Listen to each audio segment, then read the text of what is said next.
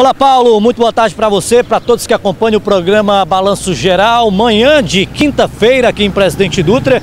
E a gente veio aqui para uma das principais rotatórias da cidade para a gente acompanhar um pouco da movimentação do trânsito nessa manhã. Dia amanheceu aí com chuva, nesse momento o tempo está nublado, né? Uma quinta-feira tranquila aqui na cidade. A gente circulou aí por vários pontos de Presidente Dutra, deu para notar que a cidade está relativamente tranquila. O trânsito, como sempre, bastante movimentado. A gente está aqui também para falar a respeito do IPVA 2020 no Maranhão, né? Porque a partir de agora os valores do imposto já estão disponíveis para consulta no site aí da Secretaria de Fazenda do Estado do Maranhão. A Secretaria é, informou que já estão disponíveis para os motoristas os valores dos impostos sobre propriedade de veículo, que é o IPVA 2020.